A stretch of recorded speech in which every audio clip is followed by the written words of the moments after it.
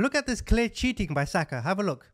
You see how he leaves his right leg out, deliberately trying to deceive the referee? Let me show you again. Now watch it in real time. Look at his right leg. He leaves it out on purpose. Look, have a look at his right leg. He leaves it hanging. Right there. Never a pen.